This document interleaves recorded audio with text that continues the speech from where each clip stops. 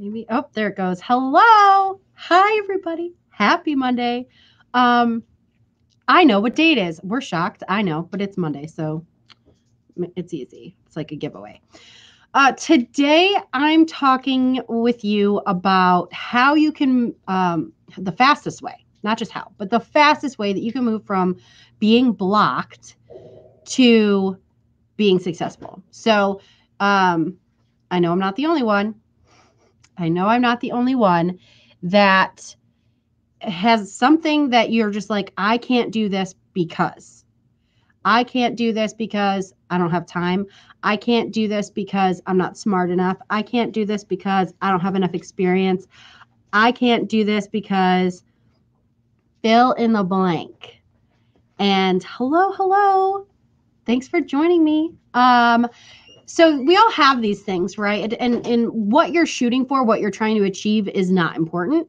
This is going to work all across the board. It does not matter what it is. So the fastest way you can move from having these blocks to being successful and overcoming these blocks and achieving your goals no matter what it is has everything to do with the words that you speak so we're going to go right back to I can't do that because fill in the blank, right? Okay. So I can't do that because I don't have enough time. All right. Let's really evaluate that. You don't have enough time. Do you manage to watch Netflix?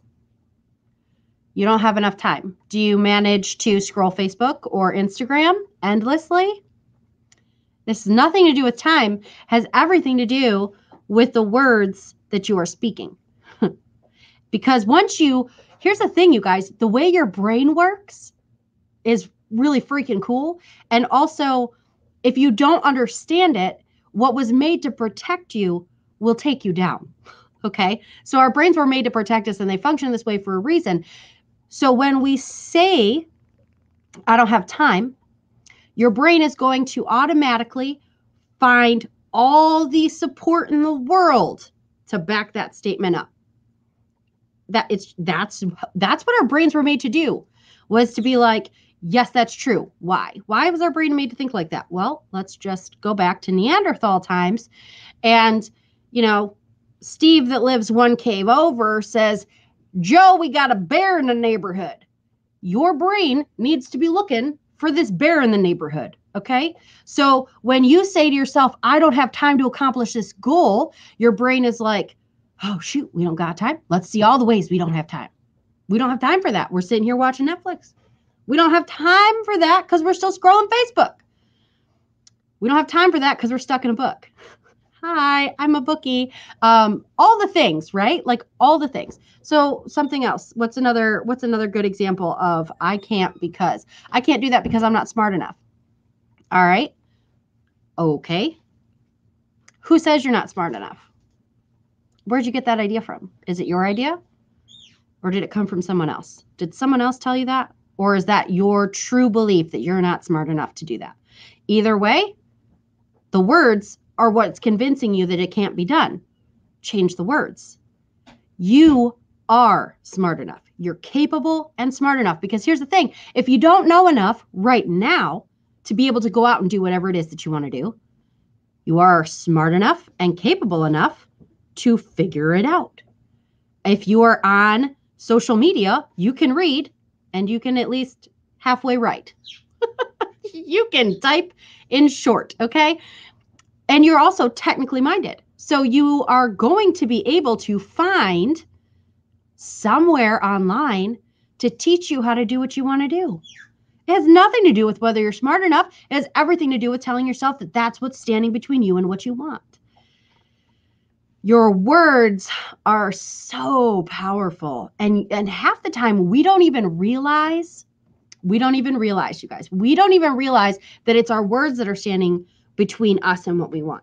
We have no recollection of this. it's just not. So look for it. I want you to look for it. When you say something to yourself and that's a reason why you're not doing something, ask yourself if it's true.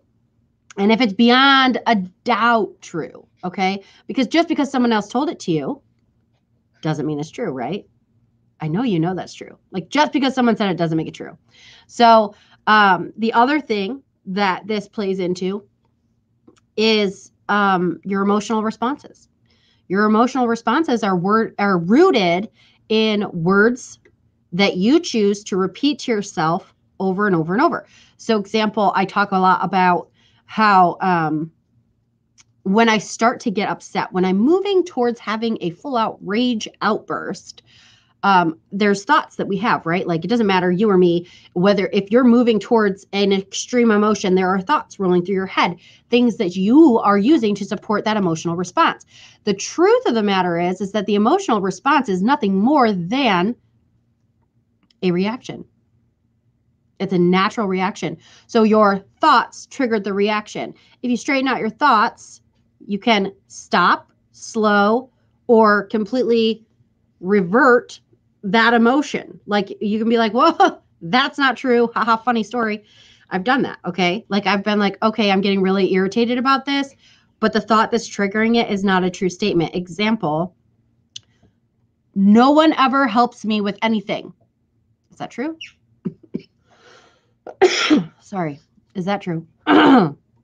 it's no, it's not. Why is it not true? Because no one ever with anything. These are generalized words. That's bullshit. Call it right now. Call it. It's bullshit. You need to know that you tell yourself bullshit all the time. And it's time to start calling yourself out on it. And that is the fastest way you will go from blocked to successful. So that's all. That's my little spiel of the Monday. Um, and I guess it's because, A, I'm talking about conscious language this week in um, heart-centered and intentional horsewomen. That is our focus is conscious language being conscious of the language that we use to talk to ourselves and others. Um, and then the other thing is um, because i've been focused on it because i refuse to stay i refuse to stay blocked in this space.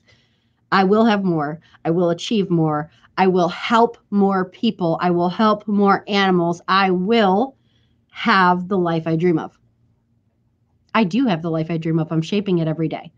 And and that is all conscious language. So if that is something that interests you if you need more of this conscious language conversation in your life if you are ready to eliminate blocks and to move from a place of having outbursts or big emotions that you're done with you need to jump on over into heart centered and intentional horsewomen and just so you know i'm going to call out this elephant. If you are not a horse lover horse owner horse caretaker or a woman you can still join the group. We won't judge you.